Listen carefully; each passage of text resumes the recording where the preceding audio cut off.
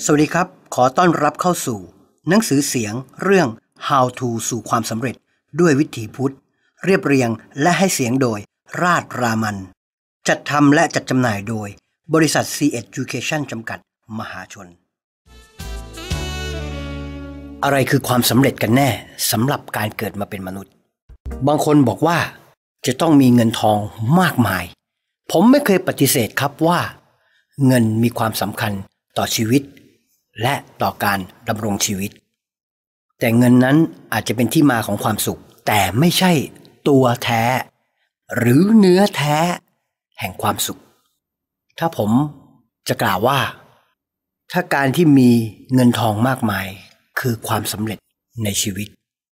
พระพุทธเจ้าก็คงจะเป็นบุคคลที่ล้มเหลวที่สุดในโลก เพราะพระองค์ไม่มีอะไรเลย